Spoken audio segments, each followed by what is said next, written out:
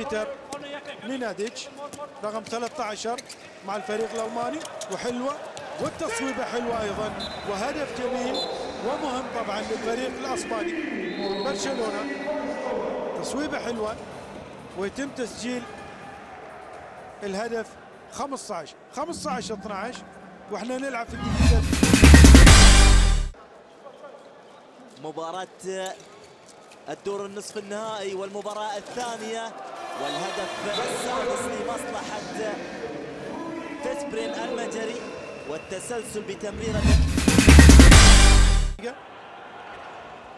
وأعتقد لو ما بالحارس لكان الآن طبعا آه، فرق كبير لبرشلونة. ولكن طبعا نشوف إباقة الدفاع والحارس ويصوب. شوف التصويبة هذه. جانبية لمصلحة سيدني الاسترالي ينفذها سريعا والبرافو برافو برافو حلوة الكرة الماضية شوف التمريرة الذكية والالتقاط الجميل من لاعب الدائرة بشكل ممتاز يضعها من تحت الحارس رولاند. على الفريق الألماني خمسة ثلاثة. تلعب راؤول. للدائرة سيدريك.